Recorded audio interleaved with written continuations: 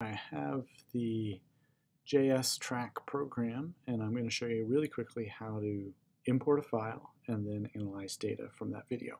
So I'm just going to drag a uh, file that I happen to have in video over here into this box or you could click select local file and you can find it on your computer and then I get a little spinny thing that hopefully doesn't last forever um, but sometimes it does be patient this happens to be a, I think a four second clip so it, it, if it's too long it's going to take just a long time to, to figure that all out so it gives you this prompt and I'm just going to call it my freefall video.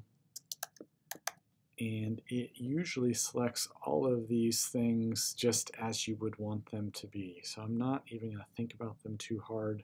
Most things record at 30 frames per second. You could have a high-speed video camera that captures at 60 times a second or 120 times per second. But most video you have is something like 30 times a second. So I've selected that, I've named it, not messed with anything else. I say create, and here is the video that I happen to share with you. And uh, I have a few different things that I can do, including change where these axes are. And I'm going to pick these axes to be lined up with where the ball happens to start. And actually, I want it to line up with where the ball starts to leave my hand. So you notice down here I have this slider. that can make your physics professor go up and down. And I'm just going to slide it to where the motion actually really gets interesting. And I'm going to select the center of the ball as the kind of the start point for my whole data collection. So this doesn't really do anything important, it just gives me a point of reference. The other thing that I'm going to do is pick a point here that says create scale, and if I click that, sure pink, but wouldn't it be better if it were blue, or something, I don't know. Pick a scale, color, I say create, and it says basically pick any two points that I know the measurement distance for. It so happens in this screen I have a meter stick. So if I click here, oops, click there, and I extend that to the end of the meter stick, and then I just say that's that is one meter, or I think I can double click that and change it to something else. If you have a 12 inch ruler or one foot ruler, or there's something else in here you happen to know what its dimensions are, use that. So if I didn't have a meter stick here, I could have measured in real life the length of this or the height of this window and then program that in or put that scale in. It doesn't matter, it's just telling the screen how big objects happen to be. And it's going to scale all of your measurements to that particular um, background thing that you know the actual measurement of. If you didn't actually do that, it's just going to use something that's arbitrary, but it would still be scaled uh, proportional to the screen that you're using. Okay. Now, where this is at, there's stuff here. Great. Where this gets interesting is when I click, oh, I can move these axes around. When I click and add a point to this, um, I don't know if I have to say create new track. I'll call this my track. I've clicked on it. Sure. Ah, good. Um, I think when I over okay, I'm just talking to the computer screen. I saw it saying something here when I hover. Okay, nothing helpful.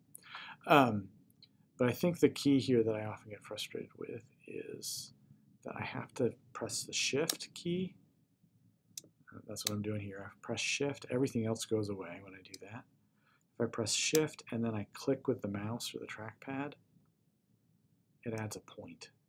That's what this little diamond is here. And then it advances the screen or advances the video one frame. So that point has been added and then you see the ball is a little bit higher up in the air because that's the next frame of the video.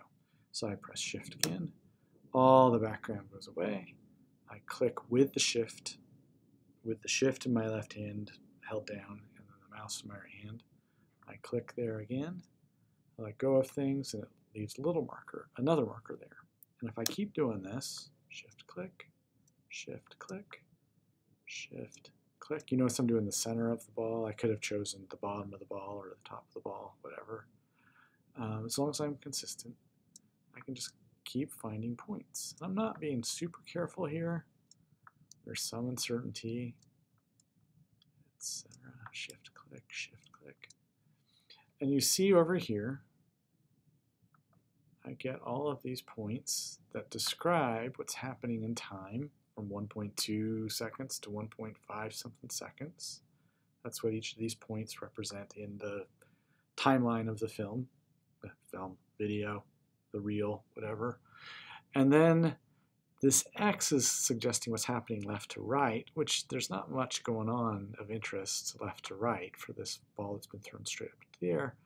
But for this Y dimension, it's showing that it's at 0.16 meters and then at 0.32 meters and then 0.46 meters and 0.60 meters and 0.72 meters, etc. You kind of get a sense for it's going upward, but less and less with each step, right? So it's recording all of those data. I really am interested in the time, and in this case, the y dimension, the vertical dimension. Now, it will go on to say, hey, you could go ahead and copy all of this stuff. If I do a shift and select, and I do a control C or command C on a Mac, it's going to copy all those things, and I can put them into a spreadsheet. It also says, hey, open this spreadsheet for further calculations. And if I do that, it's going to open a whole other window. And it says you can go ahead and copy your entire table from your track in here. But if you do that, you will just be, you can hear me clicking frantically, and it will tell me practically nothing, uh, do nothing for me, and I'll just get mad at it. And then I look at the instructions where it says, this spreadsheet is intended to let you easily extract blah, blah, blah, blah, blah. And then it says, hey, go to File, make a copy, use Google Sheets, or File, download Microsoft Excel. It's This is telling me this is the, the original, and I can't actually use this original template. I have to download it myself. So what you can't see me doing here is I'm going up to the menu, um, oops. Um, the menu here, I say make a copy. It says, how do you want to call this? I could call this Adams JS track calculations or free fall calculations. It's going to put it into my drive. I could also download it to my own computer. I say OK. It says, here you go. And now this is my very own named freefall, cal freefall calculations. And now if I go here and I do a paste or control V or command V, all my data are going to go there. And then it's going to create for me a bunch of graphs.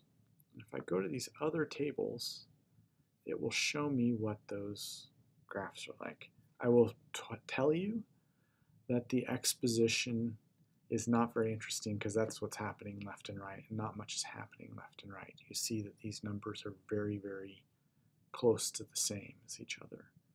But the y stuff is going to be more interesting. I didn't collect much data here, so not much has happened. Another thing that you could do is create a whole new sheet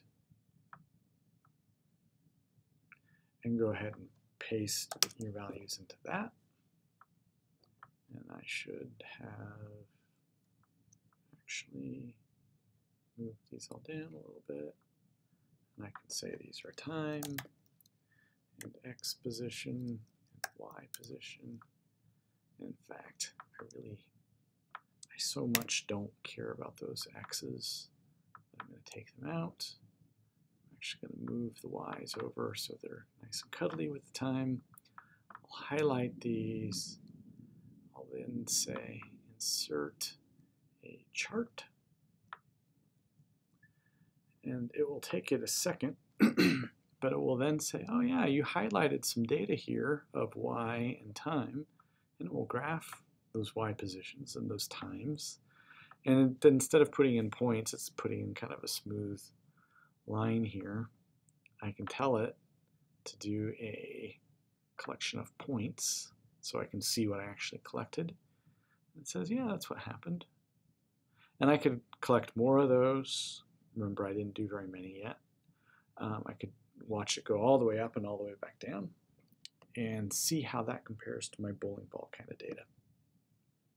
Um, but the, the basics of all of this start with using the JS track or another video analysis collection, collector and uh, collecting these points and then using those points to then create data for time and these Y positions in particular.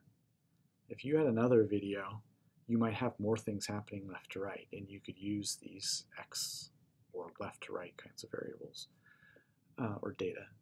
Um, but in my case, I was just looking at up and down time and the up and down data, and then I was able to record those using this piece of software like stuff, and then I can export it into a spreadsheet, make a graph, and that tells me something. So this is my quick way of telling you how this is all working. Um, I'm sure there's other stuff you can do. I'm sure I've already bored you too much, so I'll leave it at that and wish you well. Let me know if you've got questions.